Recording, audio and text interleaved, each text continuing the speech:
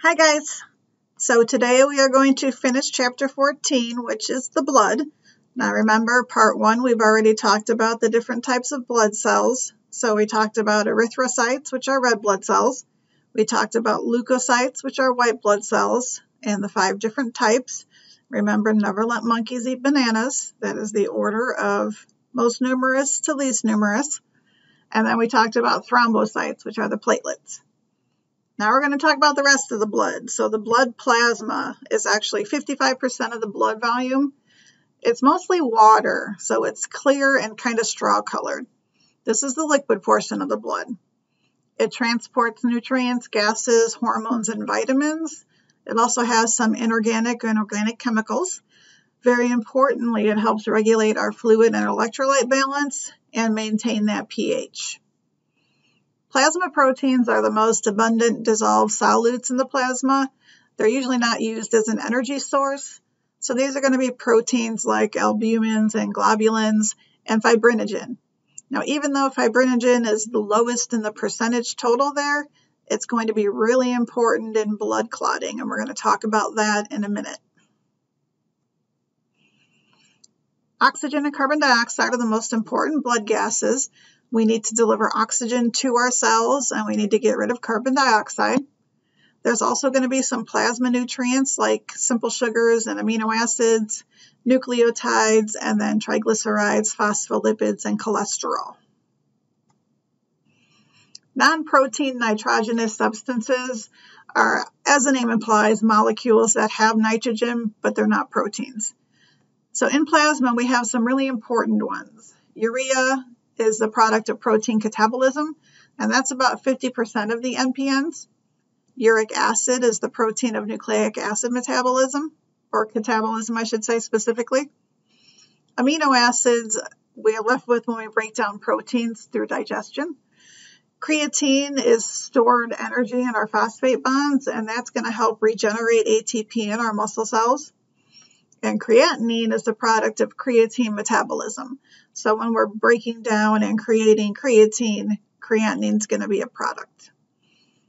Our BUN is our blood urea nitrogen content. It actually indicates the health of a kidney. If the level is too high, that usually indicates that there's something wrong with your renal function because you're not excreting urea like you should. So all of these substances, even though they're non-protein nitrogenous substances, they're still really important and they let us know how our kidneys are functioning. Electrolytes are ions that ionize in water. They can conduct electricity and they're absorbed from the intestine or released as byproducts of cellular metabolism. Some really important ones, potassium, calcium, sodium, chloride, magnesium, bicarbonate, phosphate, and sulfate. Sodium and chloride are the most abundant electrolytes, and we're going to talk about them a lot, along with potassium and calcium. Bicarbonate becomes really important when we talk about regulating our pH. We have to have a way to stop bleeding. Everybody gets cut, so hemostasis is the proper terminology for stoppage of bleeding. There's a few actions that are going to limit or prevent blood loss. It starts with a blood vessel spasm or a vascular spasm, where the blood vessel is actually going to spasm and contract to try to keep the ends close together to limit that blood loss. Platelet plug formation, which, as the name implies, are platelets coming to the area. And then finally, blood coagulation. So these are going to be most effective when you have small injuries as opposed to massive blood loss. So vascular spasms, as I said, the blood vessel is going to contract. It's stimulated by the blood vessel getting cut or broken, and then that smooth muscle is going to rapidly start contracting like a spasm. It's going to bring the ends together wherever the cut is. It's going to bring those two ends together, and sometimes that's enough and it'll close completely. But no matter what, it's going to slow the blood loss. Again, those pain receptors in our blood vessel walls are going to trigger this to happen. The response lasts a few minutes, but the effect can actually continue for up to 30. That's going to allow time for the platelets to get to the area, the plug to be formed, and then for our blood to finally coagulate. Serotonin is also released to cause vasoconstriction to help further reduce that blood loss. So once the blood vessel breaks, it releases chemicals that are going to attract platelets to the area. Positive feedback is going to get more platelets to the area through chemotaxis. Remember, positive feedback, there's only really two in the body that matter, and that's childbirth and platelet plug formation. So the platelets are going to adhere to each other and to the rough edges of the cut and form a plug. Finally, blood coagulation occurs within 5 to 15 minutes, and obviously, this is going to be the most effective mechanism. A blood clot is going to be formed in a cascade, which is basically just a series of reactions where one step is going to activate the next one. There's two different ways it can be initiated, either extrinsically or intrinsically. Chemicals that are used are called clotting factors, and we have 12 of them. Vitamin K is necessary for some of these clotting factors to be formed. And of course, coagulation is going to depend on the balance between procoagulants and anticoagulants. So, things that are trying to make coagulation happen and things that are trying to go against it. The major event that happens is the conversion of the soluble fibrinogen to insoluble threads of fibrin. And then that fibrin is going to trap those blood cells and it's going to cause the clot to form. So, this is the final step of blood coagulation. This is showing you the three mechanisms to stop blood loss vascular spasms, platelet plug formation, and blood coagulation. So the extrinsic clotting method is going to be triggered by blood coming in contact with tissues outside of the blood vessels or the damaged wall of the blood vessel. The damaged tissues are going to release tissue thromboplastin, which is factor 3. This is not found in the blood. That's going to initiate the cascade, which is going to involve the sequential activation of several clotting factors. The major steps that happen our thrombin is going to convert fibrinogen into the fibrin threads. Fibrinogen is soluble in the blood, fibrin is insoluble. So thrombin catalyzes that conversion of fibrinogen into fibrin. The fibrin is then going to stick to the blood vessel surfaces and trap those blood cells and platelets, forming the blood clot. Again, as I said earlier, this is a positive feedback mechanism once the clotting starts, it's going to promote additional clotting. The intrinsic clotting mechanism can actually start without tissue damage. If the blood comes into contact with a foreign surface like collagen instead of the normal endothelium of the blood vessel wall, it's going to activate the intrinsic method. It's triggered by factor 7, which is actually found inside the blood like the extrinsic clotting mechanism that's going to start a cascade effect with several clotting factors. Then it's going to result in the formation of a fibrin mesh and a blood clot, just like the extrinsic pathway.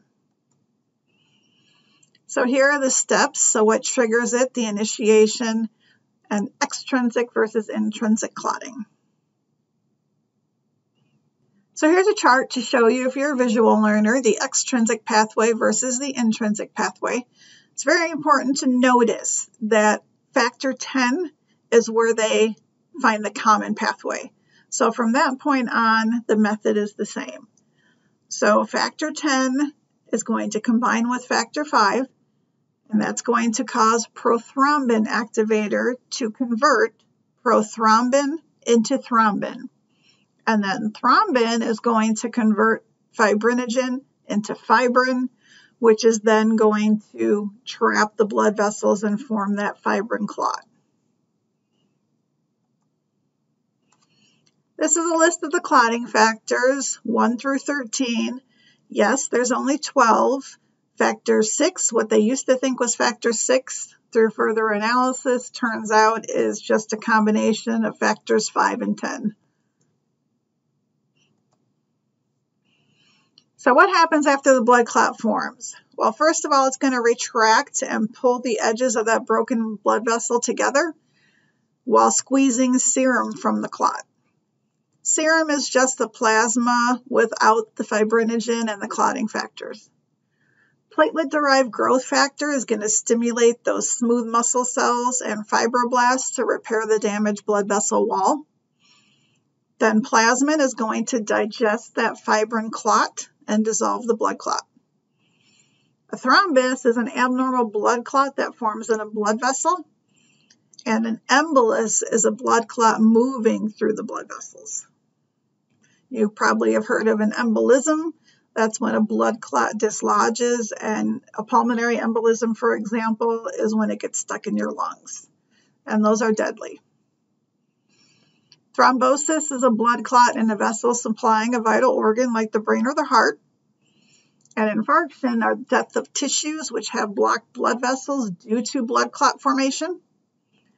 Embolism, as I just said, is a blood clot that travels and then is going to block a blood vessel in an organ, like a pulmonary embolism in the lungs. And atherosclerosis is an accumulation of fat in the arterial linings that can sometimes cause that abnormal clot formation. And this is a common form of thrombosis. And then those pictures there show you a normal artery compared to one that has a bunch of plaque buildup. Deep vein thrombosis is clot formation because of the pooling of stagnant blood. Oftentimes, this happens in the femoral or popliteal veins or the deep veins of the pelvis. Oftentimes, it occurs if you are not moving for very long, and oftentimes it happens because the valves in our blood vessels and our veins get weakened. Serious complications are pulmonary embolism, of course, which that blood clot's going to dislodge and travel through the circulation and then lodge in a pulmonary blood vessel, and whatever portion of the lung that blood vessel was supplying will be blocked. As I said, it occurs with prolonged periods of immobility, like an airplane flight. Symptoms you have deep muscle pain, cramping, swelling, redness, dilation of the surface veins. The clot can break off hours or days after formation. So, how do we prevent coagulation? Well, remember the blood vessel lining is very smooth, so things aren't going to grab onto it. So, platelets and clotting factors are not going to accumulate there normally. As the clot forms, the fibrin is going to absorb or latch onto that thrombin, and it's going to prevent the clotting reaction from spreading. Antithrombin is going to inactivate additional thrombin by binding to it and blocking its action on fibrinogen. So basically, antithrombin is going to prevent thrombin from allowing fibrinogen to convert into fibrin. There's also basophils and mast cells that secrete heparin, which is an anticoagulant. Because basically, when our blood coagulates, we want it to stay in that area. We want it to stay in the area that's damaged. We don't want the clot to spread. So here's some factors that inhibit clot formation, like we just talked about. Blood groups. In 1910, the ABO blood antigen gene explained our blood types. Blood types are distinguished by the proteins on the surfaces of the red blood cells. On the red surf on the surface of a red blood cell, we have what's called an antigen. Whatever antigen you have, so whatever surface protein you have, that is the blood type you are. Whatever antigen you have, you have the opposite antibody. So what that means is if you are type A, you have the A antigen on your red blood cells. You have the B antibody which is why if you're type A blood and you get a type B transfusion, your body will actually attack it. On the reverse side, if you are type B, that means that you have the B antigen on your red blood cells and you have antibody A. If you are type AB, you have both A and B antigens on your red blood cells and you don't have any antibodies. You can't because if you had an antibody, you would attack yourself because you have both A and B antigens. And it's the opposite for type O. If you're type O, you don't have any antigens on your surfaces or red blood cells, but you have both antibodies. So you have antibody A and antibody B. So type O people can only get type O blood. anything else they'll attack. So again, the antigen is any molecule that evokes an immune response. So those are the surface markers on our bodies. If the immune system finds a foreign antigen in the body, it's going to produce antibodies against it. Antibodies are proteins that react against a specific antigen. So if you have an incompatible blood transfusion, the donor red blood cells are going to elicit that immune response and the antibodies are going to attack it and agglutinate so clump together. Agglutination is clumping together, and that's going to occur if an antibody is going to encounter its antigen.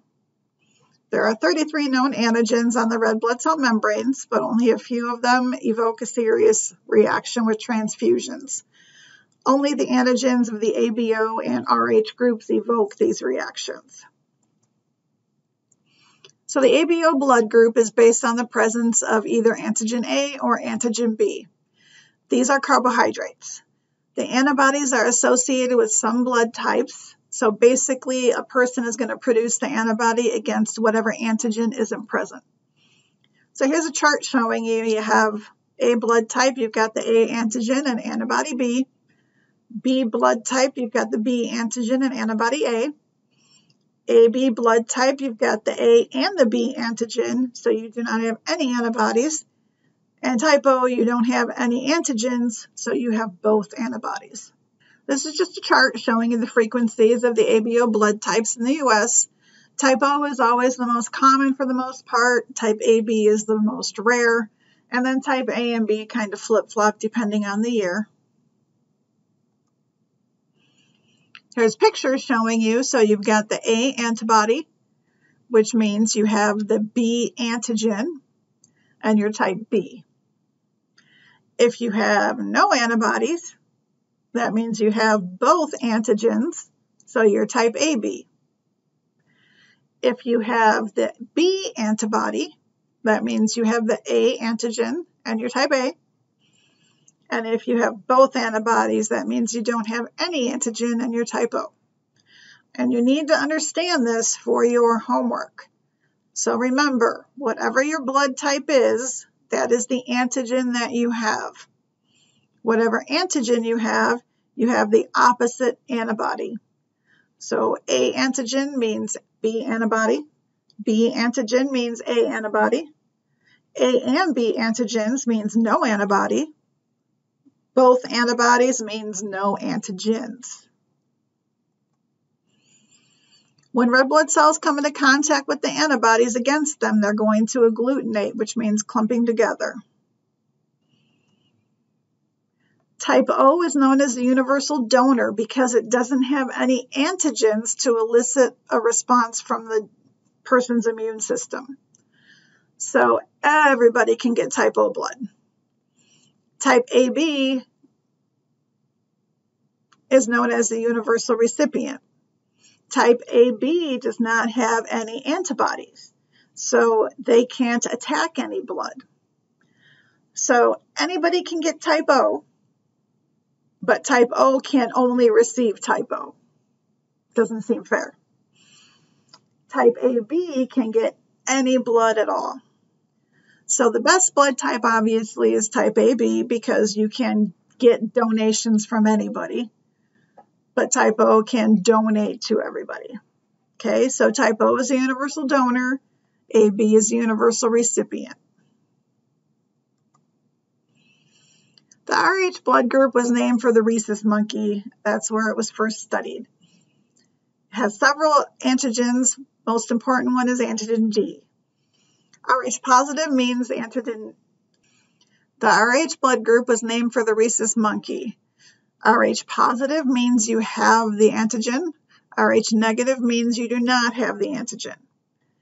Anti-Rh antibodies form if an Rh negative individual is in the presence of Rh positive.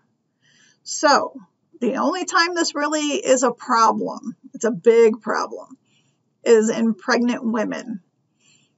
If a woman is Rh negative and she is pregnant with an Rh positive baby, the first time around, Usually everything is fine. But when she gives birth to that baby, the placenta detaches and the blood mixes momentarily, which exposes the mother to Rh positive blood. She will start making antibodies against it. So if she gets pregnant again with an Rh positive baby, we're going to have erythroblastosis fetalis or hemolytic disease of the newborn. And basically, her body will want to attack the fetus. Luckily, there's a shot now called the RhoGAM shot that the women can get, and there's not a problem. But if you're thinking about having a baby, you really need to know if you are positive or negative. So here's a picture showing you the Rh negative female with an Rh positive fetus and what will happen. And then here's some other inherited disorders. So erythrocytosis, your reticulocytes have the extra EPO receptors, which is going to enhance stamina. Sickle cell, we kind of talked about in the last type. Hemophilia, you have specific clotting factors missing. Hemophilia was really prominent in Queen Victoria's family. It is a sex linked disorder, so it's carried on the X chromosome. Factor VIII is the most common missing clotting factor. So that is it for the second half of chapter 14. As always, if you have any questions, just let me know.